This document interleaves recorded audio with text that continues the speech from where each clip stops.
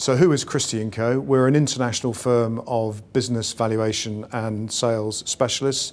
We deal across healthcare sectors and in the dentistry sector we have 35 personnel, agents and chartered surveyors uh, selling and valuing dental practices for a range of owners.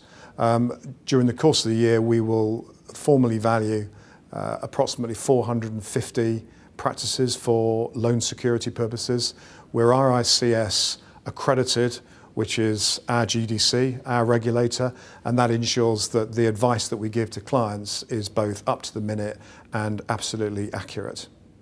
So in terms of the dental practice sales market, uh, so far in 2017, it's been really strong, uh, some really good activity out there. We estimate there are approximately 500 dental practices selling each year.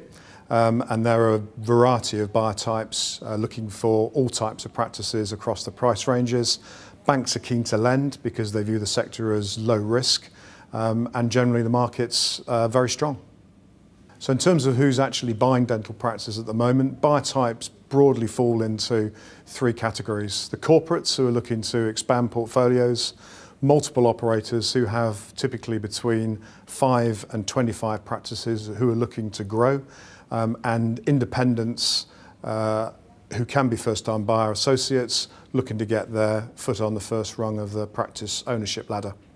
So for anybody thinking of uh, exiting their dental practice and, and selling on the open market, preparation is absolutely fundamental.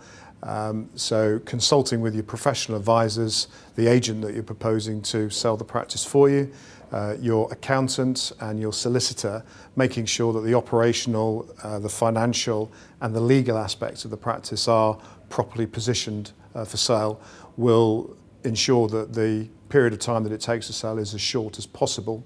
And once you're ready to go, uh, there's plenty of demand out there. So it, it should not take that long to go from launching the practice for sale to getting offers in and heads of terms agreed. A heads of terms is uh, the broad base of the agreement to sell, and then the legal process kicks in. So um, different types of practice take different lengths of time to sell. So anything with an NHS contract broadly uh, is longer than a private. That could be between six to nine months to sell from launch to completion.